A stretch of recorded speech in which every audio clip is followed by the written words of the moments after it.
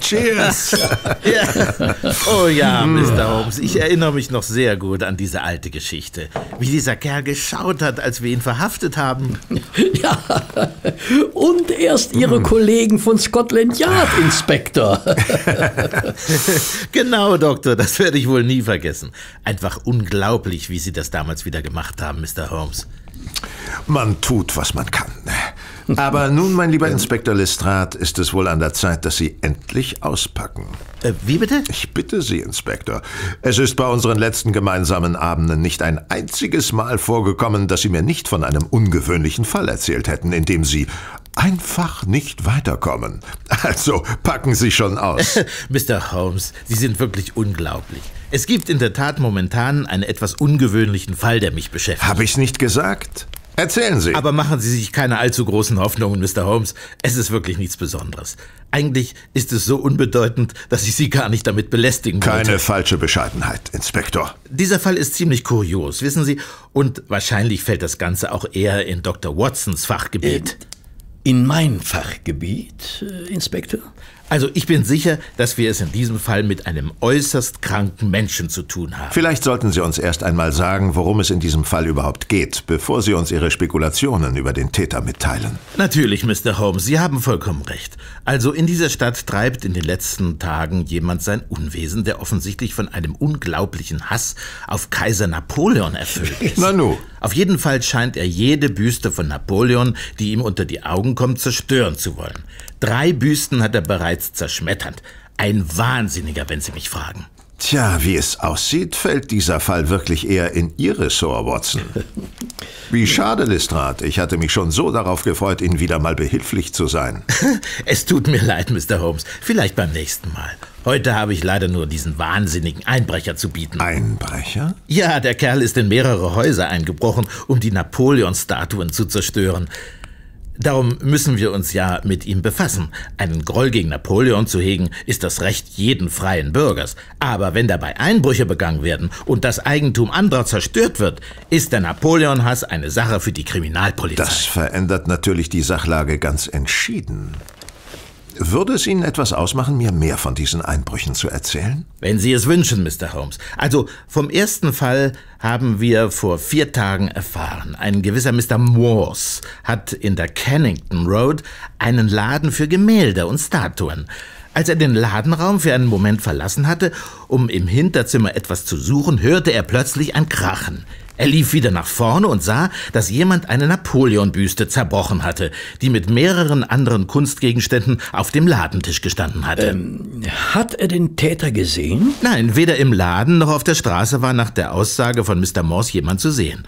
Und da er den Täter nicht gesehen hatte und die Gipsbüste auch nur ein paar Schilling wert war, wollten wir die Sache eigentlich schon einstellen. Aber dann geschah vorgestern Nacht etwas Merkwürdiges.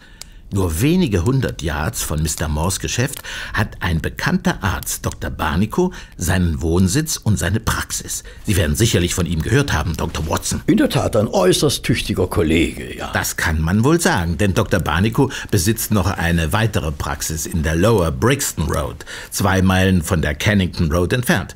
Dieser Dr. Barnico ist ein glühender Napoleon-Verehrer. Sein ganzes Haus ist voll von Büchern und Bildern und ich weiß nicht, was für Reliquien von Napoleon. Und vor kurzer Zeit hat er im Laden von Mr. Morse zwei Gipsduplikate einer Napoleon-Büste gekauft. Eine davon stellte er in seinem Wohnhaus in der Kennington Road auf, die andere in der Praxis in der Lower Brixton Road. Und stellen Sie sich vor, vorgestern Nacht ist in beide Häuser eingebrochen worden. Übrigens sehr professionell, wie ich betonen möchte. Und es wurde nichts gestohlen oder beschädigt.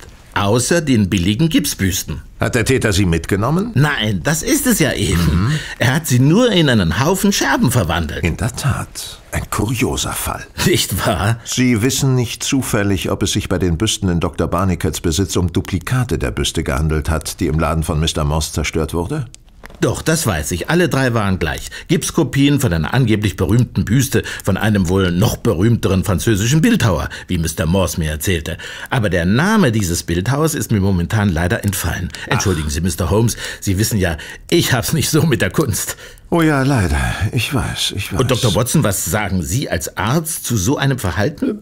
Ja, ich bin zwar kein Experte für Geisteskrankheiten, aber für mich sieht es so aus, als würde Ihr Täter an dem leiden, was die Psychologen heutzutage eine fixe Idee nennen.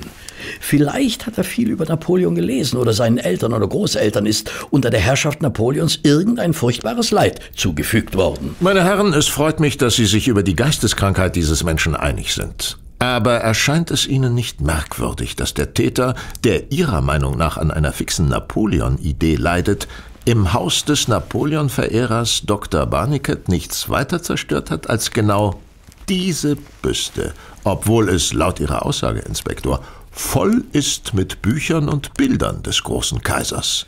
Äh, soweit ich weiß, gibt es verschiedene Ausprägungen der Monomanie Holmes. Vielleicht hat er nur das Bedürfnis, Büsten von Napoleon zu zerstören und keine Bilder. Aus welchem Grund auch immer. Das ist doch jetzt völlig unwichtig. Nichts ist unwichtig, Watson. Ich wünschte, Sie würden das endlich beherzigen. Bedenken Sie, wie viele Fälle ich allein deshalb zu lösen vermochte, weil ich Kleinigkeiten berücksichtigt habe, die Ihnen unwichtig erschienen. Naja, und ich weise nur auf die fürchterliche Geschichte der Familie Abernethy hin, auf die ich nur aufmerksam wurde, weil ich darauf achtete, wie tief die Petersilie an einem heißen Tag in die Butter eingesunken war. Nicht wahr? Ja, ja, ich danke für die Belehrung. Und Holmes. ebenso gibt es in diesem Fall hier nichts, was man vorschnell für unwichtig erachten sollte. Ich finde es zum Beispiel höchst bemerkenswert, Watson, dass Ihr Geisteskranker in seiner wahnsinnigen Zerstörungswut ausgerechnet mit drei gleichen Duplikaten anfängt. Das kam mir auch merkwürdig vor, Mr. Holmes. Aber andererseits, vielleicht waren es einfach zufällig die ersten drei Napoleon-Büsten, die er hier in London gesehen hat. Mein lieber Herr Inspektor, Sie wissen, dass mein Glaube an den Zufall äußerst eingeschränkt ist. Und wenn man in diesem Fall ferner bedenkt, dass alle drei Büsten zufällig aus dem gleichen Geschäft stammten, scheint mir das Wort Zufall hier wirklich gänzlich fehl am Platze zu sein. Na gut, na gut, Holmes. Sagen Sie uns doch, wie Sie sich das Ganze erklären. Oh, das versuche ich gar nicht erst. Zumindest nicht zu diesem Zeitpunkt. Es erscheint mir jedoch wichtig, darauf hinzuweisen, dass sich in dem exzentrischen Vorgehen dieses Gentlemans eine gewisse Methodik erkennen lässt, die man keinesfalls außer Acht lassen sollte. Natürlich muss man jetzt sehr genau beobachten, wie sich der Fall weiterentwickelt. Und ich hoffe, dass Sie mich in dieser Sache auf dem Laufenden halten verehrter Herr Inspektor. Ich werde Sie über alle neuen Entwicklungen umgehend informieren, Mr. Holmes. Danke, Inspektor. Darf ich Ihnen vielleicht noch etwas zu trinken anbieten? Oh ja, vielen Dank. Und jetzt, Mr. Holmes, sind Sie dran mit dem Erzählen. Ich habe ja Außergewöhnliches von Ihrem letzten Fall gehört. Da ging es um irgendwelche Orangenkerne. Ist das richtig? Ja, das ist richtig. Leider eine etwas unglückliche Angelegenheit. Aber wenn Sie es wünschen, werde ich natürlich gerne davon erzählen. Ich bitte darum, Mr. Holmes.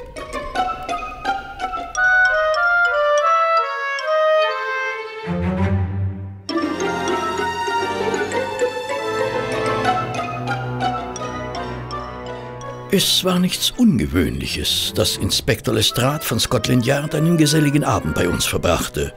Holmes war schon des Häufigeren von Lestrade bei der Lösung eines delikaten Falles hinzugezogen worden, und so plauderten wir gewöhnlich über gemeinsame vergangene Fälle, über Holmes neueste Heldentaten und natürlich auch über die Neuigkeiten bei Scotland Yard. Holmes schätzte es zwar, durch Lestrade auf dem Laufenden gehalten zu werden über die Arbeit des Yard, empfand aber zugleich nicht sonderlich große Hochachtung vor den detektivischen Fähigkeiten des Inspektors. Aber nun gut. Holmes kaum zu befriedigende Ansprüche in dieser Hinsicht dürften inzwischen wohl hinlänglich bekannt sein. Wenn Lestrade zu uns kam, war es mittlerweile zu einer Tradition geworden, dass er einen Fall mitbrachte, in dem er selbst nicht weiterkam und von dem er ahnte, dass Holmes sich dafür interessieren würde. Ein vermeintlich Wahnsinniger, der billige Napoleon-Büsten ermordete, ja, das war schon etwas für meinen Freund Sherlock Holmes. Allerdings stellten sich die neuesten Entwicklungen in diesem Fall sehr viel schneller und unendlich tragischer ein, als selbst er es sich wohl vorgestellt hätte.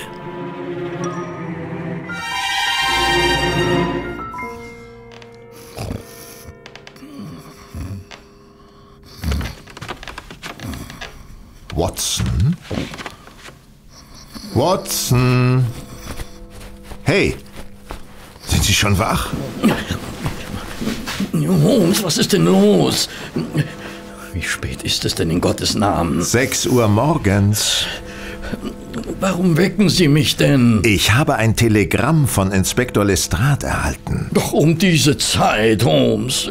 Ich scheine wohl der Einzige aus unserer Runde zu sein, der nach einem langen Abend seinen Schlaf braucht. Na, was schreibt er denn? Lieber Watson, nun wachen Sie mal auf. Hören Sie zu.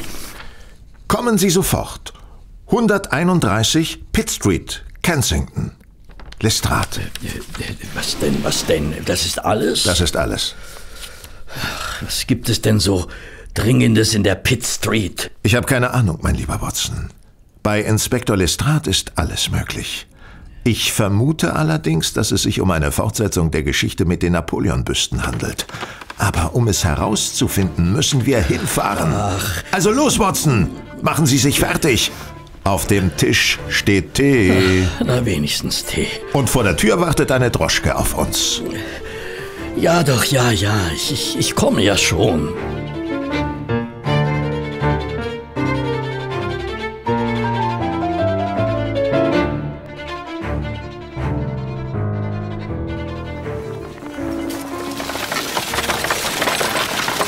Tja, du liebe Güte, was ist denn hier los? Mit Sicherheit ein Kapitalverbrechen. Ach, woher wollen Sie denn das jetzt schon wissen, Holmes? Ich bitte Sie, Watson. Ein Mord ist doch heutzutage kaum interessant genug, einen Londoner Botenjungen aufzuhalten. Ah, Mr. Holmes.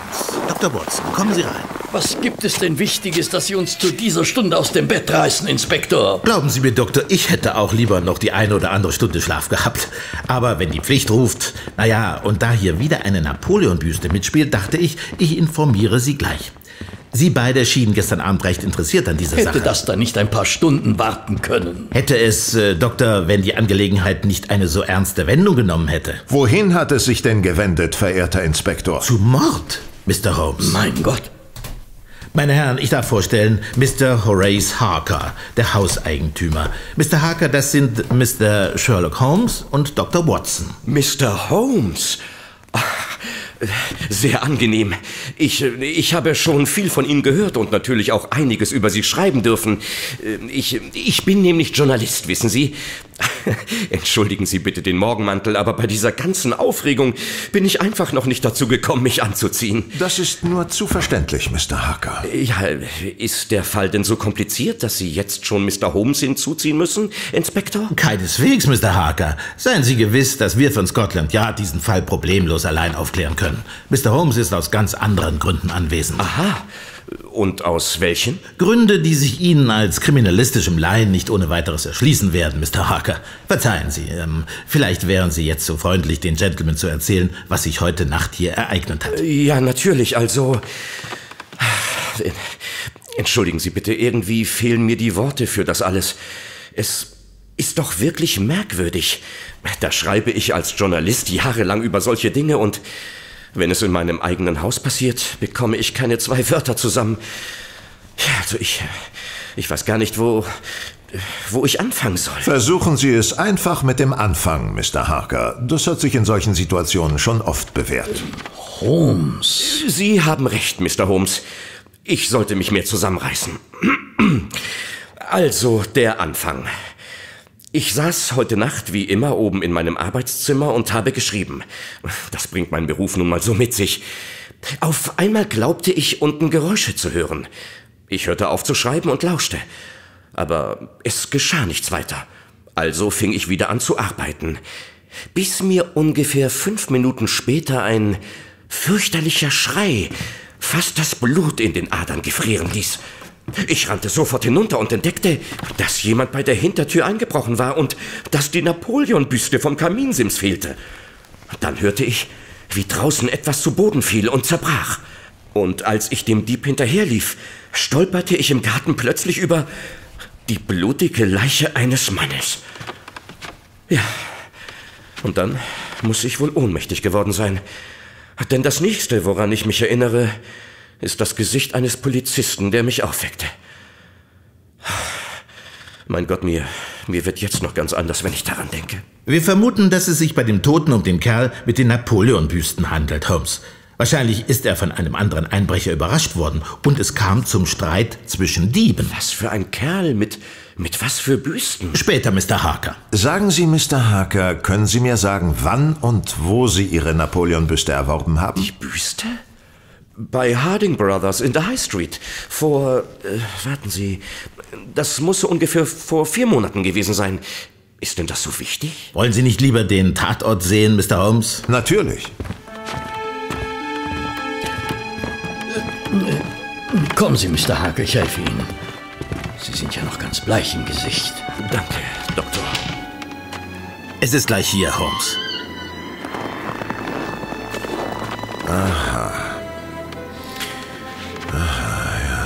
Ein Messerstich in den Hals, vermute ich. Sie vermuten richtig, Holmes. Wie fürchterlich dieses ganze Blut. Sie sollten sich setzen, Mr. Harker. Bitte sehr. Es, es geht schon. Danke. Wissen Sie schon, wer der Ermordete ist, Inspektor? Nein, leider nicht. Er hatte keinerlei Ausweispapiere bei sich. Aber wie Sie sehen, wirkt er eher südländisch mit seinen schwarzen Haaren und der sonnenverbrannten Haut. Dazu die ärmliche Kleidung. Wahrscheinlich ein Ausländer. Beeindruckend, verehrter Inspektor. Ihre Fähigkeiten zur Schlussfolgerung entwickeln sich. Gibt's sonst noch Hinweise? Das Einzige, was wir in seinen Taschen gefunden haben, ist ein Apfel und diese Fotografie. Und natürlich das Tatmesser, das in seinem Hals steckte. Wären Sie so freundlich, mir die Fotografie zu geben? Hier, wir haben keine Ahnung, was er damit wollte. Zeigen Sie mal, Holmes. Ja, na, der Kerl auf der Fotografie ist ja nicht gerade eine Schönheit. Sieht ja aus wie ein halber Affe. Wie Sie wissen, unterstellt uns eine gewisse moderne Theorie allen einen hohen Verwandtschaftsgrad mit diesen Tieren, Watson. Auf jeden Fall ist es interessant, dass sowohl der Ermordete als auch der Mann auf der Fotografie südländische Gesichtszüge aufweisen und äh, ärmlich gekleidet sind. Äh, was dafür spricht, dass sie dem gleichen gesellschaftlichen Milieu zuzuordnen sind. Aber äh, sagen Sie, Inspektor, was mich viel mehr interessiert, was ist denn aus der Napoleon-Büste geworden? Das interessiert Sie mehr als dieser Tote? In der Tat. Wie Sie wollen. Die Büste liegt ein paar Yards entfernt zur Straße hin. Ein Scherbenhaufen, wie die anderen auch. Ich zeige es Ihnen. Glauben Sie denn wirklich, dass diese Büste etwas mit dem Toten zu tun hat, Mr. Holmes? Also das, das kann ich mir gar nicht vorstellen. Es ist doch nur eine ganz billige Gipskopie. Es sind schon Menschen wegen viel weniger getötet worden, Mr. Harker. Abgesehen davon ist es völlig unzweifelhaft, dass Ihre Gipsbüste in dieser Angelegenheit eine zentrale Rolle spielt. Immerhin wurden in den letzten Tagen bereits drei weitere Napoleon-Büsten zerstört. Es sollte mich schon sehr wundern, wenn es da keinen Zusammenhang zu Ihrem Napoleon gibt, Mr. Harker. Das ist ja interessant. Und äh, haben Sie schon einen Verdacht? Nun, Inspektor Lestrade und ich sind uns einig, dass es sich wohl um einen Wahnsinnigen handelt, der von einer fixen Idee, einem, äh, wie soll ich sagen, wie auch immer begründeten Napoleon-Hass getrieben wird. Wir sind uns einig. Wahnsinniger? Aber äh, darüber müssen Sie die Presse doch informieren, Inspektor Lestrade. Die Öffentlichkeit hat ein Recht davon zu erfahren. Äh, Ja, ich. Äh, hier ist Ihre Büste, Mr. Holmes. Interessant. Was ist interessant? Nun zunächst einmal, dass wir davon ausgehen dürfen, dass es sich bei dem Ermordeten nicht um den Napoleon-Hasser handelt. Es wäre schon sehr ungewöhnlich, wenn er die Büste erst stiehlt, sie dann hierher trägt, um sie zu zerschmettern und schließlich wieder zurück in den Garten geht, um sich ermorden zu lassen. Woher wollen Sie wissen, dass ihm die Büste nicht von seinem Mörder abgenommen wurde? Und als er merkte, dass sie nichts wert war, hat er sie einfach fallen lassen. Das ist zwar möglich, Inspektor, aber sehr unwahrscheinlich. Selbst der einfachste Dieb ist heutzutage in der Lage, eine billige Gipskopie von einem auch nur ansatzweise wertvollen Kunstwerk zu unterscheiden. Ich bezweifle, dass er die Büste überhaupt angerührt hätte. Aber selbst wenn, er hätte sie wohl kaum auf den Boden geworfen und so riskiert, dass er durch den Lärm entdeckt wird, nachdem er gerade einen Mord begangen hat. Im Gegensatz dazu gehört es zum üblichen Vorgehen unseres Napoleon-Hassers, dass er die Büsten zerschmettert. Nein, nein, nein, verehrter Inspektor, unser Mann ist noch am Leben. Und ich bin mir sicher, dass er nicht nur für das zu frühe Ableben einiger Gipsbüsten, sondern auch für den Tod dieses Mannes verantwortlich ist. Ja, ja, ja, ja. Und warum hat er die Büste erst hier auf den Boden geworfen? Eine sehr gute Frage, Watson. Die Antwort lautet, weil er sie hier im Licht der Straßenlaterne sehen konnte. Sie meinen, er will Napoleon in die Augen sehen, ehe er ihn zerschmettert? Ein wenig drastisch formuliert vielleicht, aber so könnte man es sehen. Eine unglaubliche Geschichte. Also, Sie entschuldigen mich, meine Herren. Ich glaube, meine Fähigkeiten zum Schreiben kommen zurück. Ich muss mich sofort dran setzen und die Geschichte in die Redaktion bringen. Fantastisch, Mr. Holmes. In wenigen Stunden sitzt uns die gesamte Presse von London im Nacken und behindert uns bei der Arbeit. Ich weiß, was ich tue, Inspektor. Sehr schön. Und was tun wir jetzt? Nun, wie würden Sie an die Auflösung dieses Verbrechens herangehen? Ich werde erstmal versuchen herauszufinden, wer der Tote ist. Wer weiß, vielleicht kriegt man auf diese Weise auch etwas über seinen Mörder heraus. Das ist das übliche Vorgehen bei Scotland Yard, Mr. Holmes. Das wissen Sie doch. Schön, Inspektor, tun Sie das. Ich werde währenddessen mit Dr. Watson nach einem anderen Weg suchen, diesen Fall zu klären. Und in nicht allzu ferner Zukunft können wir dann ja unsere Ergebnisse austauschen. Gestatten Sie, dass wir die Fotografie, die der Ermordete bei sich hatte, zunächst behalten? Von mir aus? Dann verlassen wir Sie jetzt, Inspektor. Einen schönen Tag noch. Und, Inspektor, Vielleicht wären Sie so freundlich, Mr. Harker noch einmal in seinem Glauben zu bestärken, dass wir es hier mit einem Wahnsinnigen zu tun haben. Vertrauen Sie mir, Inspektor. Wie Sie meinen. Kommen Sie, Watson. Ja, ja, wohin gehen wir denn, Holmes? Wenn Sie sich endlich dazu durchringen würden, Ihren Verstand zu benutzen, wüssten Sie es, Watson. Danke. Danke für Ihr Kompliment, Holmes. Sehr freundlich. Obwohl mein Freund Sherlock Holmes ein durchaus höflicher Mensch war, muss doch erwähnt werden, dass seine Höflichkeit endete, wenn er das Gefühl hatte, dass die geistigen Kräfte seines Gegenübers nicht vollständig zum Einsatz gebracht wurden. Wie selbstverständlich forderte er von seinen Mitmenschen intellektuelle Leistungen ein, die einen normalen Verstand einfach überfordern mussten. Nun, wenigstens überforderten sie meinen Verstand. Ich hatte mich diesbezüglich schon häufig bei ihm beschwert, ohne allerdings die geringste Besserung feststellen zu können. Nach einem erneuten Hinweis auf die Unzulänglichkeit meiner Geisteskräfte angesichts seines Genies konnte ich Holmes in diesem Fall glücklicherweise dazu bewegen, mich hinsichtlich unseres weiteren Vorgehens aufzuklären. Während Lestrade sich auf die Suche nach Informationen über den Ermordeten machte, um so den Mörder zu fangen, hielt Holmes es für angebracht, etwas über die Napoleonbüsten herauszufinden, um den Mörder aufzuspüren. Also machten wir uns auf den Weg zum Geschäft von Mr. Morse, wo Dr. Barnicott seine beiden Büsten erstanden hatte und dem selbst ein Exemplar im Laden zerstört worden war. Guten Tag, meine Herren. Was kann ich für Sie tun? Guten Tag. Mr. Morse, vermute ich. Ich selbst. Sie vermuten richtig. Das ist mein Beruf, Mr. Morse. Ich bin Sherlock Holmes.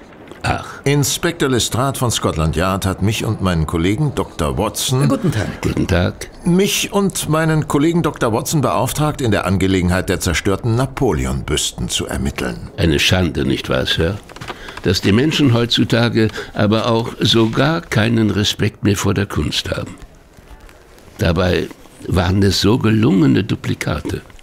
Von der berühmten Napoleon-Büste des französischen Bildhauers Devin. Wissen Sie? Dr. Barnicket hatte so eine Freude an den Kopien. Was muss das nur für ein Mensch sein, der so etwas macht? Genau das versuchen wir herauszufinden, Mr. Morse. Vielleicht können Sie uns dabei helfen. Natürlich, Mr. Holmes. Aber ich wüsste nicht wie. Ich habe schon den Herrn von Scotland Yard gesagt, dass ich nichts gesehen habe und... Äh Unsere Ermittlungsmethoden unterscheiden sich ein wenig von denen der Polizei, Mr. Morse. Vielleicht wären Sie so freundlich, mir ein paar Fragen zu beantworten. Natürlich. Watson, das Foto bitte. Äh, bitte sehr, Holmes. Danke. Mr. Morse, kennen Sie diesen Mann? Aber sicher, das ist Beppo. Äh, Beppo? Geht es etwas genauer, Mr. Morse? Entschuldigen Sie bitte. Beppo hat für ein paar Wochen bei mir im Laden ausgeholfen, ein italienischer Hilfsarbeiter. Er hatte ein gutes Händchen, konnte sogar Rahmen vergolden. Leider nicht besonders zuverlässig. Er kam ständig zu spät zur Arbeit und vor einer Woche ist er dann ganz fortgeblieben. Sie glauben doch nicht etwa, dass Beppo das mit den Napoleon-Büsten war. Was missfällt Ihnen so sehr an diesem Gedanken? Ich weiß nicht. Beppo war zwar ein ungehobelter Kerl, aber mit den Kunstwerken hier im Laden ist er, ja, wie soll ich mich ausdrücken, schon fast zärtlich umgegangen. Also, nein, das kann ich mir wirklich nicht vorstellen. Außerdem ist Beppo schon verschwunden, zwei Tage bevor meine Büste hier im Laden zerstört wurde. Nein, Mr. Holmes, das glaube ich nicht. Ähm, äh, hat dieser Beppo auch einen Nachnamen? Bestimmt, aber er wollte ihn mir nicht sagen. Naja, und da ich gerade dringend eine Hilfe im Laden brauchte, habe ich mich halt darauf eingelassen. Sagen Sie, Mr. Moss, besitzen Sie noch mehr von diesen Napoleon-Büsten? Nein, leider nicht. Ich hatte drei Stück. Die beiden, die ich an Dr. Barniket verkauft habe und die, die in meinem Laden zerstört wurde. Darf ich Sie fragen, woher Sie diese Büsten bezogen haben? Naja, ich lege zwar nicht so gerne meine Händler offen, aber weil Sie es sind, Mr. Holmes, ich habe sie vor einiger Zeit bei Gelder und Co. in der Church Street gekauft. Ich kenne kaum einen Steinmetzbetrieb, der so gute Arbeiten liefert wie Gelder und Co., meine Herren. Und ich achte sehr auf die Qualität meiner Waren. Natürlich, Mr. Morse. Ich danke Ihnen für Ihre Auskünfte. Sie waren sehr hilfreich. Informieren Sie mich, wenn Sie den Kerl haben, Mr. Holmes? Selbstverständlich. Guten Tag, Mr. Morse. Guten Tag, Herren. Kommen Sie, Watson. Ähm, wo gehen wir denn jetzt hin? Watson. Zu Gelder und Co. natürlich. Hallo, Droschke?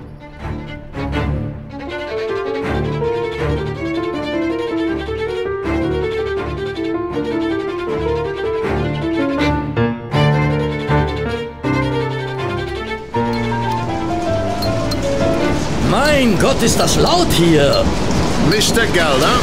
Ja? Mr. Gelder, ich muss Sie dringend sprechen. Mein Name ist Sherlock Holmes. Ich ermittle im Auftrag von Scotland Yard. Kommen Sie in mein Büro.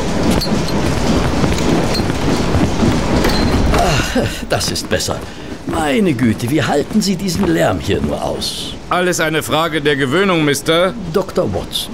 Nun, meine Herren, was kann ich für Sie tun? Mr. Gelder, Sie haben vor einiger Zeit drei Gipsbüsten an den Kunsthändler Mr. Morse in der Kennington Road geliefert. Erinnern Sie sich daran? Von diesem Napoleon haben wir hunderte von Kopien angefertigt, Mr. Holmes. Ah ja, das habe ich vermutet. Aber gibt es eine Möglichkeit herauszufinden, ob sich diese drei Büsten in irgendeiner Weise von den anderen Hunderten unterscheiden, die Sie im Laufe der Zeit produziert haben? Ich kann mir zwar nicht vorstellen, wie Sie sich davon unterscheiden sollten, aber ich könnte einen Blick in die Produktionsbücher werfen, wenn es Sie interessiert. Wenn Sie so freundlich wären. Mr. Morse, sagten Sie? Ja, Kennington Road. Also, die drei Büsten, ja, von denen Sie sprachen, wurden am 3. Juni des vergangenen Jahres an Mr. Morse verkauft. Und sie stammten aus einer Serie von sechs Büsten, die am 19. Mai des vergangenen Jahres gefertigt wurden. Ist es Ihnen wohl möglich herauszufinden, an wen Sie die anderen drei Büsten aus dieser Serie geliefert haben? Natürlich. Äh, wozu, sagten Sie nochmal, brauchen Sie diese Informationen, Mr. Holmes? Für eine Untersuchung im Auftrag von Scotland Yard. Es geht um Mord, Mr. Gelder. Und Sie können uns mit Ihren Informationen vielleicht helfen, einen weiteren Mord zu verhindern. Gute Güte. Also gut. Lassen Sie uns sehen. Übrigens wusste ich gar nicht, dass Steinmetze auch Gipsbüsten anfertigen. Tja, die Zeiten ändern sich. Es gibt heute kaum noch Leute, die eine ordentliche Steinmetzarbeit zu würdigen wissen. Stattdessen lieber ein paar billige Gipsstatuen, die man nach ein paar Jahren wegwirft, wenn sie nicht mehr der Mode entsprechen. Darauf muss man als Geschäftsmann reagieren, wenn man nicht untergehen will, Dr. Watson. Ah, hier ist es. Die anderen drei Gipsbüsten sind an Harding Brothers in Kensington gegangen, auch im letzten Sommer. Vielen Dank, Mr. Gerner. Sagen Sie, ähm, benötigt man eigentlich eine langwierige Ausbildung, um bei Ihnen diese Gipsstatuen anzufertigen? Nein, das ist ganz einfach. Das machen bei uns sogar die ausländischen Hilfsarbeiter. Man muss nur den flüssigen Gips in die Gussform füllen, dann lässt man ihn antrocknen, holt ihn aus der Form und lässt ihn noch ein paar Tage lang aushärten. Die meiste Arbeit macht der Gips von selbst. Mr. Gelder, eine Frage habe ich noch. Und dann werden wir Sie nicht weiter belästigen. Äh, Watson, geben Sie mir bitte die Fotografie. Hier, Holmes. Kennen Sie diesen Mann, Mr. Geller? Ah, dieser Schurke, das hätte ich mir ja gleich denken können. Ich kann Ihnen nicht ganz folgen. Dieses Geschäft ist ein anständiges Geschäft, Mr. Holmes. In den ganzen Jahren ist bisher nur ein einziges Mal die Polizei hier gewesen. Und das war wegen diesem Kerl hier, Beppo. Seinen Nachnamen habe ich nie erfahren. Ein Italiener. Die haben ihn hier wegen irgendeiner Messerstecherei oder etwas in der Art verhaftet. Ist gleich für ein paar Monate ins Gefängnis gekommen. Ein unangenehmer Kerl. Faul und unpünktlich.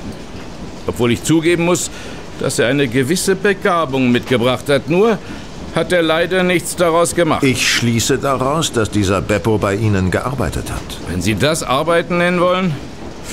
Er war für ein paar Wochen hier als Hilfsarbeiter. Wann genau war das? Im, Im letzten Jahr. Warten Sie, wenn ich ins Lohnbuch schaue, kann ich es Ihnen genauer sagen. Ja, am 20. Mai des letzten Jahres hat er seinen letzten Lohn bekommen. Das war der Tag, an dem er verhaftet wurde. Ich kann mich noch erinnern, dass ich ihm das Geld gegeben habe, als die Polizisten ihn abführten. Ich habe ihm gesagt, dass er sich hier nie wieder blicken lassen soll. Vielen Dank, Mr. Gelder. Sie haben uns sehr geholfen. Ich hoffe, der Kerl schafft es nicht, jetzt zum zweiten Mal ein schlechtes Licht auf diesen Betrieb hier zu werfen, Mr. Holmes. Machen Sie sich keine Sorgen, Mr. Gelder. Auf Wiedersehen. Auf Wiedersehen, meine Herren. Glauben Sie, dass dieser Beppo unser Mann ist, Holmes? Ich glaube vor allem, dass das hier nicht der richtige Ort ist, um sich darüber zu unterhalten, Watson. Ich denke, wir sollten einen kleinen Spaziergang machen.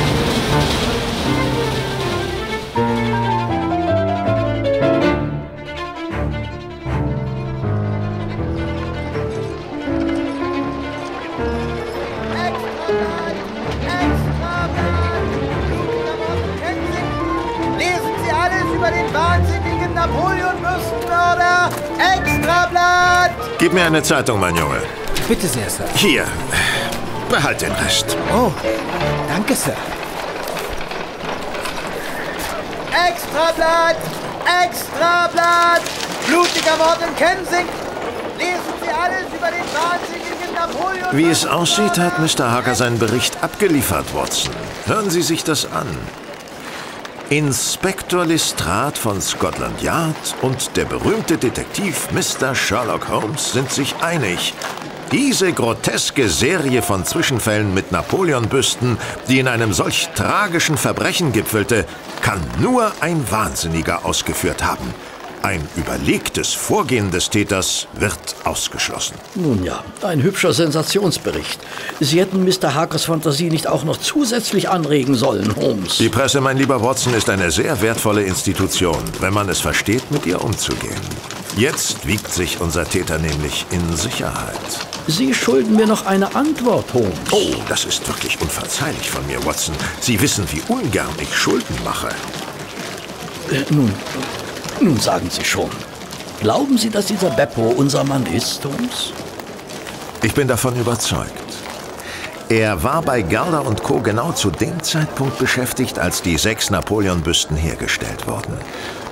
Wahrscheinlich hat er sie sogar angefertigt. Denn wie wir erfahren haben, werden mit der Herstellung der Gipsbüsten dort ja sogar die ausländischen Hilfsarbeiter betraut. Außerdem wissen wir, dass er wegen einer Messerstecherei für mehrere Monate im Gefängnis war. Und mehrere Monate nach der Herstellung der Büsten beginnt plötzlich jemand mit deren Zerstörung. Und äh, kurz vor der Zerstörung der ersten Büste arbeitet Beppo für ein paar Wochen im Geschäft von Mr. Morse und verschwindet dann wieder spurlos. Das alles müsste schon ein sehr großer Zufall sein. Und Sie wissen ja, Watson, ich halte nicht sehr viel von Zufällen. Aber was hat dieser Kerl davon, die Napoleon-Büsten zu zerstören? Ja, da gibt es verschiedene denkbare Motive. Denken Sie nur daran, dass sowohl Mr. Morse als auch Mr. Gerda ausdrücklich Beppos Talent im Umgang mit Kunstwerken gelobt haben. Mr. Morse sprach sogar von einer, äh, ja, fast zärtlichen Beziehung, wenn Sie sich erinnern wollen. Ja, ich empfinde es nicht als sonderlich zärtlichen Umgang mit einer Büste, wenn man sie zerschlägt. Schon oft hat sich Liebe in Hass verkehrt, Watson. Das kennen Sie doch. Vielleicht haben wir es auch mit der sensiblen Seele eines verkannten Künstlers zu tun, der es sich zur Aufgabe gemacht hat, die unechte Kunst zu zerstören, die er bei Mr. Gelder anfertigen musste. Holmes. Holmes, den nehme ich auf den Arm. Dieser Beppo sieht nach allem aus, aber nicht nach einem sensiblen Künstler. Das meinen Sie doch nicht im Ernst. Ich meine gar nichts, Watson. Allenfalls, dass wir noch weitere Recherchen anstellen müssen, ehe wir die Wahrheit enthüllen können. Aha. Und wo sollen wir recherchieren? Nun, da wir bereits dem Hersteller der Büsten Mr. Gerder einen Besuch abgestattet haben und ebenso dem Händler, der die ersten drei Büsten der Serie von ihm gekauft hat, Mr. Morse, fehlt uns jetzt noch wer? Ähm, ähm, der Händler, der die anderen drei Büsten gekauft hat. Weiter nach rechts. Sehr gut, Watson. Langsam wird es etwas mit Ihnen. Verbindlichsten Dank. Verbindlichsten Dank, Holmes. Und wo finden wir diesen Händler? Seid doch vorsichtig, ihr Trottel. Das Geschäft von Harding Brothers befindet sich in Kensington. Und wie Sie feststellen werden, hat uns unser kleiner Spaziergang durch die Straßen Londons ganz zufällig bis vor die Tür dieses Geschäfts geführt. Wenn irgendwas kaputt geht, Holmes. kriegt ihr das Holmes, vom Lohn Sie sind abgezogen. Ist das klar? Weiß, Watson, ich weiß. Entschuldigen Sie, Sir, könnten Sie uns sagen, wo wir den Geschäftsführer von Harding Brothers finden? Ja, Sir, das kann ich. Sie finden ihn hier an Ort und Stelle. Thomas Harding. Was kann ich für Sie tun? Mein Name ist Sherlock Holmes. Ich ermittle in einem Mordfall, der sich heute im Hause eines Ihrer Kunden, Mr. Horace Harker, zugetragen hat. Ich hab's schon in der Zeitung gelesen. Irgend so ein Wahnsinniger, nicht wahr? Ja, wahrscheinlich. Nun, Mr. Harding, wir vermuten, dass es einen Zusammenhang gibt zwischen diesem Mord und einer Gipsbüste, die Mr. Harker vor geraumer Zeit bei Ihnen erstanden hat. Ja, ja, der Napoleon. Das stand auch in dem Bericht. Mr. Gelder von Gelder und Co. war so freundlich, uns mitzuteilen, dass Sie neben der Napoleon-Büste, die Sie an Mr. Harker weiterverkauft haben, noch zwei weitere Napoleon-Büsten dieser Art von ihm erworben haben. Sie sind ja recht gut informiert, Mr. Holmes. Das ist mein Beruf, Mr. Harding. Hey, Giovanni, pass auf. Das ist ein Kunstwerk und keine Schweinehälfte. Mr. Harding, um herauszufinden, wer diesen Mord begangen hat, ist es ungemein wichtig für uns zu erfahren, was mit diesen weiteren zwei Büsten geschehen ist. Na, ich habe sie verkauft. Und an wen, wenn Sie die Frage gestatten? Keine Ahnung. Steht im Verkaufsbuch, vermute ich. Würde es Ihnen sehr viel Umstände bereiten, darin für mich nachzuschlagen? Salvatore! Ja, Mr. Harding? Hol mal das Verkaufsbuch vom Tresen und bring es mir her. Jawohl, Mr. Harding. Sie beschäftigen erstaunlich viele Italiener in Ihrem Geschäft, Mr. Harding. Tja, was will man machen? Sind eben die billigsten Arbeitskräfte. Ich bin Geschäftsmann, Mr. Holmes. Da muss man rechnen. Hier, das Foto, Holmes. Danke, Watson. Sagen Sie, Mr. Harding, haben Sie den Mann auf dieser Fotografie vielleicht schon einmal gesehen? Nee, ganz bestimmt nicht. So eine Visage hätte ich mir Bitte, gemerkt. Mr. Harding. Hier ist er. Danke. Und jetzt hilft Giovanni weiter beim Entladen. Natürlich, Mr. Harding. Also, da haben wir es ja. Ein Napoleon ging an Mr. Harker, wie Sie ja wissen. Der zweite an Mr. Josiah Brown, La Burnham Villa. Und der dritte an einen Mr. Sandford in der Lower Grove Road in Reading. Ähm, schreiben Sie mit, Watson? Ja, ja, ja. Vielen Dank, Mr. Harding. Jetzt werden wir Sie nicht weiter belästigen. Viel Erfolg, Mr. Holmes. Danke. Kommen Sie, Watson. Es gibt einiges zu tun. Vor allem sollten wir so schnell wie möglich Inspektor Lestrade informieren, damit seine Leute diesen keine suchen können. Immer mit der Ruhe, Watson. Wir werden Inspektor Lestrade schon zu seinem Täter führen. Aber vorher sollten wir noch ein paar Rätsel dieses Falles lösen. Finden Sie nicht? Und? Wie machen wir das? Nun, in erster Linie werde ich das wohl machen. Ich schlage vor, dass wir jetzt nach Hause fahren. Und während Sie freundlicherweise Inspektor Lestrade informieren lassen, dass er sich bitte heute Abend um 10 an der Hammersmith Bridge einfinden soll, werde ich ein paar Nachforschungen in alten Unterlagen anstellen. Nun gut. Und dann? Und dann, Watson, legen Sie sich am besten für ein paar Stunden schlafen. Es wird eine anstrengende Nacht werden. Ich weiß ja, wie ungehalten sie reagieren, wenn man ihren Schlaf stört.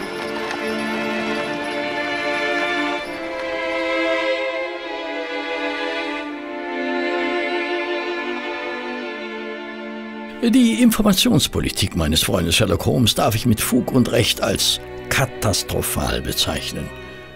Es zählte zu seinen wirklich negativen Eigenschaften, seine Mitmenschen völlig im Dunkeln über einen Fall zu lassen – ehe er ihn nicht selbst im allerklarsten Licht sah. Als wir nach unserem Besuch bei Harding Brothers in der Baker Street zurückkehrten, versenkte Holmes sich sofort in das Studium alter Zeitungen, so dass unser Wohnzimmer binnen einer Stunde aussah wie das Lager eines Altpapierhändlers. Auf meine hm, angesichts dieses Chaos durchaus berechtigte Frage, wonach er denn suche, erhielt ich keine Antwort. Wie so häufig, wenn Holmes sich in die Welt seiner Gedanken zurückgezogen hatte. Also tat ich das Beste, was ich tun konnte. Ich griff Holmes Anregung auf und legte mich schlafen bis wir um kurz vor zehn gemeinsam zu Hammersmith Bridge fuhren, wo Inspektor Lestrade uns bereits höchst ungeduldig erwartete. Mr. Holmes, warum müssen wir uns ausgerechnet hier treffen? Hätte es ein gemütliches Dinner nicht auch getan? Guten Abend, Inspektor Lestrade.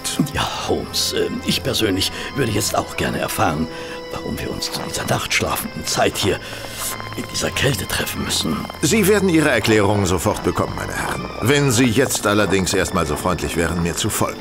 Und wohin? Zu dieser Villa dort vorne. Oder präziser zu den Bäumen vor der Villa. Und wozu? Um Ihren Mörder zu fangen, verehrter Inspektor. Holmes, ich fürchte, diesmal sind Sie auf dem Holzweg. Wir haben nämlich herausgefunden, wer der Ermordete von heute Morgen ist. Ein Italiener namens Pietro Venucci. Interessant. Einer unserer Inspektoren, Inspektor Hill, ist Experte für das Italienviertel. Und der hat herausgefunden, dass dieser Venucci wohl häufiger mal für die Mafia gearbeitet hat. Wahrscheinlich sollte er den anderen Kerl auf der Fotografie im Auftrag der Mafia umlegen, ist ihm gefolgt und hat auf eine günstige Gelegenheit gewartet. Als er mit der Büste unter dem Arm aus dem Haus von Mr. Harker kam, hat Venucci ihn angegriffen und bei dem folgenden Handgemenge dann den Kürzeren gezogen. Nein, nein, Holmes. Ich bin mir sicher, dass wir unseren Täter irgendwo im Italienerviertel finden, aber ganz bestimmt nicht hier in Chiswick. Sie sind sehr dicht dran, mein lieber Inspektor, sehr dicht, aber noch nicht ganz an der Wahrheit. Wie erklären Sie mit Ihrer Theorie zum Beispiel die zerstörten Napoleon-Büsten? Ach, die Büsten, das ist doch völlig nebensächlich. So bitte sehr, meine Herren. Hier sollten wir uns jetzt auf die Lauer legen. Auf was lauern wir denn, Holmes? Watson, benutzen Sie doch bitte Ihre Augen. Was steht da auf dem Schild? Äh, Laburnum Villa. Und wir haben heute erfahren, dass sich was in dieser Villa befindet? Eine der Napoleon-Büsten. Holmes, was soll das denn mit den Büsten? Das ist doch vollkommen belanglos. Einbruch, leichter Diebstahl. Uns muss der Mord interessieren. Ich bin überzeugt davon, dass wir unseren Mann im Italienerviertel finden. Sind wir uns darüber einig, verehrter Inspektor, dass es sich bei dem Mörder von Mr. Venucci und dem Zerstörer der Napoleonbüsten um die gleiche Person handelt? Natürlich. Nämlich den Mann auf der Fotografie, die Mr. Venucci bei sich trug. Nun, dann macht es doch Sinn, ihm dabei aufzulauern, wenn er dem nächsten Napoleon zu Leibe rückt. Oder? Übrigens, Inspektor, unser Mann heißt, wie wir heute herausfinden konnten, Beppo, Nachname unbekannt, ein Italiener. Er hat sowohl beim Hersteller der Napoleonbüsten, der Firma Gerda Co., als auch im Geschäft von Mr. Morse gearbeitet und saß bis vor kurzem wegen einer Messerstecherei im Gefängnis. Und das sagen Sie mir jetzt erst? Ich muss sofort eine Großfahndung im Italienerviertel einleiten. Tun Sie, was Sie nicht lassen können. Aber das Italienerviertel ist groß, Inspektor. Ich ziehe es vor, hier auf ihn zu warten. Und warum sollte er ausgerechnet heute Nacht hier auftauchen? Weil sich, wie Dr. Watson es bereits gerade sagte, eine weitere Napoleonbüste in dieser Villa befindet. Wie in vielen anderen Villen Londons auch. Das ist richtig. Aber die bisher zerstörten vier Büsten gehören zu einer Fertigungsreihe von insgesamt sechs Duplikaten, wie wir heute herausfinden konnten. Und eine der noch verbliebenen zwei Büsten befindet sich in dieser Villa. Aber es ist doch gar nicht gesagt, dass er weitermacht mit den Napoleons, nach dem, was heute Nacht passiert ist. Außerdem, selbst wenn er weitermacht, warum sollte er sich zuerst um die Büste in dieser Villa hier kümmern und nicht um die andere? Und warum ausgerechnet heute Nacht? Zunächst einmal bin ich überzeugt davon, dass er weitermacht, bis er alle sechs Napoleons in den Fingern hatte. Und ich denke, dass die Geschehnisse der vergangenen Nacht eher dazu führen werden, dass er sich mit seinem Vorhaben beeilt. Und, Lestrade, um schließlich Ihre letzte Frage zu beantworten, ich glaube, dass er sich zuerst diese Büste hier vornehmen wird, weil unser Mann in London wohnt und Chiswick für ihn deshalb schlicht näher ist als Reading, wo sich die andere Büste befindet. Einen Augenblick, Holmes, einen Augenblick. Woher wollen Sie wissen, dass dieser Beppo die Adressen der anderen Käufer kennt? Eine gute Frage, Watson. Aus dem einfachen Grund, dass es für uns auch keine Schwierigkeit war, sie zu erfahren. Mr. Harding ist sehr freigebig mit Informationen über seine Kunden. Erinnern Sie sich? Er ließ den Arbeiter das Verkaufsbuch vom Tresen holen. Es scheint also jeder freien Zugang dazu zu haben. Außerdem arbeiten viele Italiener in seinem Geschäft. Es dürfte für Beppo ein leichtes gewesen sein, einen seiner Landsleute um den Gefallen zu bitten, ihm die gewünschte Information zu beschaffen. Der Beweis dafür ist, dass er gestern Nacht bei Mr. Harker eingebrochen ist und wenn er wusste, dass Mr. Harker eine der Büsten besitzt, ist es unwahrscheinlich, dass er nicht auch die Besitzer der verbliebenen Büsten kennt. Da! Sehen Sie! Na also, ich wusste es doch. Unfassbar! Eindeutig der Kerl von der Fotografie. Und er scheint einige Übung zu haben. Das Schloss hatte geknackt, als wäre es nie verschlossen gewesen. Meine Güte, Holmes, wir müssen eingreifen. Stellen Sie sich vor, einer der Hausbewohner wird jetzt wach und überrascht ihn. Der Kerl ist doch zu allem imstande. Beruhigen Sie sich, Watson. Während Sie heute Nachmittag geschlafen haben, war ich so frei, Mr. Brown in der Laburnum-Villa aufzusuchen, Aha. ihn über die Sachlage zu informieren, um ihm zu raten, sich heute Nacht mit seiner Familie eine andere Unterkunft zu suchen. Ach so. Ich hielt es zwar für unwahrscheinlich, dass ihm etwas passieren könnte, wollte aber jedes Risiko ausschließen. Immerhin hat Beppo in der Tat bewiesen, dass sich seine Gewalttätigkeit nicht nur auf Gipsbüsten bezieht. Allerdings. Er kommt wieder raus. Sehen Sie da, er hat die Büste. Wo geht er denn hin? Zur Laterne, Inspektor. Er hat sie auf den Boden geworfen. Was macht er denn da mit den Scherben? Meine Herren, das ist, denke ich, der Augenblick, in dem wir zur Tat schreiten sollten. Natürlich, ich schleiche mich von rechts ran. Sie von links, Holmes. Los. Äh, Und was mache ich? Sie bleiben hier, Watson. Scotland Yard, Sie sind verhaftet. Och, porca miseria. Halt, stehen bleiben. Watson, passen Sie auf, er kommt zu Ihnen. Ich, ich habe... Gut gemacht, Watson. Sie sind verhaftet. Aber, Signore Sergeante, ich äh, habe nichts getan. Wir haben gesehen, was Sie alles nicht getan haben, Mr. Beppo. Warum haben Sie die Büste zerbrochen? Es, äh, es war äh, ein Unfall. Und der Mord an Pietro Venucci und die anderen Büsten waren auch alles Unfälle, was? Aber, Signore, ich schwöre, ich bin völlig unschuldig. Das wird der Richter entscheiden. Ich weiß nicht, was ich sagen soll. Ich bin Ihnen wieder mal zu Dank verpflichtet. Nicht doch, Inspektor. Sie wissen, ich helfe gerne. Übrigens würde ich mich freuen, wenn Sie uns morgen Mittag zum Lunch die Ehre geben würden. Gerne. Und jetzt werde ich diesen Kerl hier erstmal zur Wache schaffen. Los geht's, beweg dich! Sie machen einen Fehler, Signore. Oh, drohen will er mir auch noch. Gute Nacht, meine Herren. Gute Nacht, Äh, Inspektor. gute Nacht, Inspektor. Ach, na Holmes, wie ein sensibler Künstler wirkte dieser Kerl gerade auf mich nicht. Da haben Sie wohl diesmal ein wenig daneben gelegen. Wer weiß, Watson. Aber Holmes, jetzt reden Sie schon. Was hat es mit diesen Wüsten auf sich?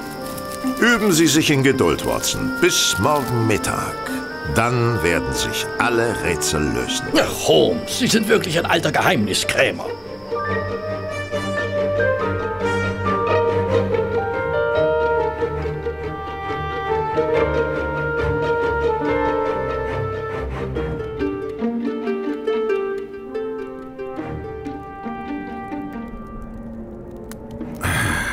Cheers. Hm. Hat es Ihnen geschmeckt, Inspektor? Ausgezeichnet, Mr. Holmes. Ihre Mrs. Hudson hat sich wieder einmal selbst übertroffen. Sie wird sich sicher über dieses Kompliment freuen. Sagen Sie, Inspektor, hat dieser Beppo inzwischen gestanden? Leider nicht. Aus dem Kerl ist einfach nichts herauszubekommen.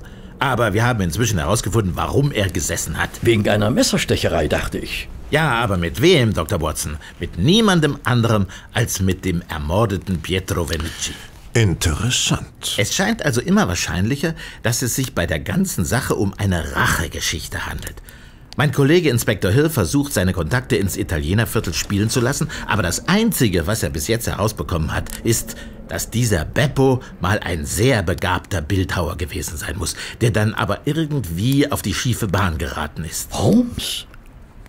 Sie werden am Ende doch wohl nicht recht behalten mit Ihrer Theorie der sensiblen Künstlerseele. Warten Sie's ab, Watson. Warten Sie's ab.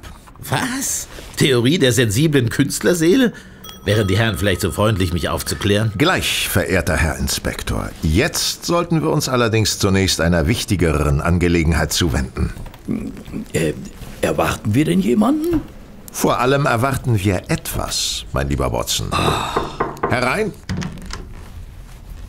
Guten Tag, meine Herren. Bin ich hier richtig bei Mr. Sherlock Holmes? Das sind Sie. Mr. Sanford aus Reading, vermute ich. Ja, Sir. Entschuldigen Sie bitte meine Verspätung, aber die Züge fuhren wieder mal fürchterlich. Das kenne ich nur zu gut, Mr. Sanford. Gehe ich recht in der Annahme, dass sich in dieser Tasche der Gegenstand befindet, um den ich Sie in meinem Brief gebeten habe? Ach so, natürlich. Äh, Hier, bitte sehr. Hier, äh, die Napoleon-Büste. Und hier sind Ihre zehn Pfund, wie ausgemacht.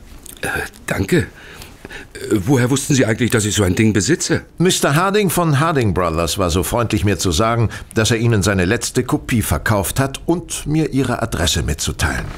Aha. Und hat Mr. Harding Ihnen auch gesagt, wie viel ich dafür bezahlt habe? Nein, darüber haben wir nicht gesprochen. Nun, Mr. Holmes, ich mag zwar kein besonders reicher Mann sein, aber dafür bin ich ein sehr ehrlicher Mann. Darum halte ich es für meine Pflicht, Ihnen zu sagen, dass ich für diese Napoleon-Büste 15 Schilling bezahlt habe. Ich denke, das sollten Sie wissen, ehe ich diese 10 Pfund dafür von Ihnen bekomme. Ihre Ehrlichkeit ehrt Sie, Mr. Sanford. Sie sollten sie sich bewahren. Es gibt heutzutage immer weniger davon. Aber ich habe Ihnen in meinem Brief 10 Pfund geboten und dabei bleibt es. Dankeschön, Mr. Holmes. Na, dann bleibt mir wohl nur noch, Ihnen viel Vergnügen damit zu wünschen. Danke, Mr. Sanford. Das gedenken wir zu haben. Schönen Tag noch, die Herren. Auf Wiedersehen, Mr. Sanford. Schönen Tag. Mr. Holmes, lassen Ihnen diese Büsten doch immer keine Ruhe? Verehrter Inspektor Lestrade, diese Büsten sind der Schlüssel zur Lösung dieses Falls. Aber wir haben doch schon unseren Mörder. Ja, aber Sie wissen immer noch nicht, warum der Mord begangen wurde. Das werden wir schon noch rausfinden. Nicht, wenn Sie weiterhin die Napoleon-Büsten vernachlässigen. Also schön, Holmes, dann erzählen Sie schon. Was hat es mit diesen Büsten auf sich? Äh, genau, Holmes. Spannen Sie uns nicht länger auf die Folter. Also gut, meine Herren. Alle Rätsel lösen sich auf, wenn wir die Frage klären, warum dieser Beppo die Büsten zerstört hat. Nun, Watson, haben Sie da vielleicht eine Idee? Äh, äh, nun ja, äh, wegen seiner Künstlerseele. Ach, Watson, Sie lassen sich viel zu leicht aufs Glatteis führen. In unserem Beppo mag vielleicht eine Künstlerseele schlummern. Momentan ist er jedoch eindeutig ein ausgekochter Verbrecher mit sehr pragmatischen Beweggründen. Nein, nein, Watson. Beppo hat in diesen Büsten etwas gesucht. Und wie kommen Sie darauf? Rufen Sie sich bitte ins Gedächtnis, dass Beppo die Büste von Mr. Harker erst bis zur beleuchteten Straße geschleppt hat, ehe er sie zerschmetterte. Und gestern Abend, als er mit seinem Diebesgut aus der Laburnum-Villa kam, führte ihn sein Weg ebenfalls direkt zur Laterne. Das heißt, Beppo brauchte Licht, um die Scherben zu untersuchen. Erinnern Sie sich, dass er gerade dabei war, die Scherben des fünften Napoleon genauestens in Augenschein zu nehmen, als wir ihn verhaftet haben? Äh, äh, und äh, was hat er gesucht? Eine gute Frage, Watson. Finden wir es heraus. Da Beppo fünf der Büsten aus der Napoleon-Serie bereits zerstört und nichts gefunden hat, ist es eine naheliegende Annahme, dass sich das Gesuchte in dieser letzten Napoleon-Büste befindet, die Mr. Sandford uns ja freundlicherweise soeben überlassen hat. Holmes, Holmes, Holmes, was machen Sie da, Holmes? Ich mache Beppos Arbeit, Watson. Ach, Holmes, Mrs. Hudson hat doch gerade erst aufgeräumt. Was ist denn das? Äh, äh, was denn? Da, dieses runde schwarze Ding. Dieses runde schwarze Ding, das sich in dieser Napoleon-Büste befunden hat, meine Herren, ist nichts anderes als die berühmte schwarze Perle der Borgias. Ach nein. Doch, Inspektor. Diese Perle wurde vor einem Jahr hier in London dem Prinzen von Kalona aus dem Darker Hotel gestohlen. Ich war so frei, diese Ereignisse in den Zeitungen des vergangenen Jahres nachzulesen, während Sie gestern Ihren Nachtschlaf nachgeholt haben. Nun ja, Sie erinnern sich sicherlich an die Sensation, die die Presse damals aus dem Verschwinden dieses Juwels gemacht hat. Nicht wahr, meine Herren? Ich erinnere mich nur zu gut. Es war eine fürchterliche Blamage für Scotland Yard, dass wir dieses Verbrechen nicht aufklären konnten. aber sagen Sie, Holmes, woher wusste denn dieser Beppo davon, dass die Perle in einem der Napoleons ist? Weil er sie dort versteckt hat, mein lieber Watson. Und wie ist er an die Perle gekommen? Also entschuldigen Sie, Mr. Holmes, aber da komme ich langsam nicht mehr mit. Gut, Inspektor, dann werde ich mich bemühen, die Ereignisse auch für Sie verständlich darzustellen. Die Perle der Borgias wurde im letzten Jahr in der Nacht vom 18. auf den 19. Mai gestohlen. Verdächtigt wurde zunächst das italienische Zimmermädchen, dem man allerdings nichts nachweisen konnte. Ihr Name war Lucrezia Venucci. Venucci? Aber so heißt doch auch der Ermordete. In der Tat, Inspektor. Ich bin mir sicher, dass es sich bei Pietro Venucci um einen engen Verwandten des Zimmermädchens handelt. Und dass sie die Perle in seinem Auftrag gestohlen und sofort nach dem Diebstahl an sich genommen hat. Aus irgendeinem Grund hat Beppo davon erfahren, oder vielleicht hatte er den Diebstahl sogar zusammen mit diesem Venucci geplant. Dann gerieten sich die beiden in die Haare über die Beute und es kam zu einer Messerstecherei. Und als Beppo am 20. Mai während seiner Arbeit bei Gerda und Co. verhaftet wurde, hatte er gerade noch genug Zeit, die Perle, die er bei sich trug, in den Gips einer der am Vortag gefertigten und noch nicht ganz ausgehärteten Napoleonbüsten hineinzudrücken und sie so vor allen zu verstecken. Mr. Holmes, ich bin beeindruckt. Danke, Inspektor. Und als er dann aus dem Gefängnis herauskam, hat er recherchiert, wo sich die Büsten aus der betreffenden Fertigungsreihe befinden, um an die Perle heranzukommen. Genau. Leider war ihm Mr. Venucci dabei auf den Fersen. Und als er ihn vor Mr. Harkers Haus zur Rede stellen wollte, kam es dann zum Äußersten. Einen Augenblick, einen Augenblick, Holmes. Wenn die beiden sich kannten, warum hatte dieser Venucci dann eine Fotografie von Beppo bei sich? Um nach ihm zu suchen, Watson, genau wie wir.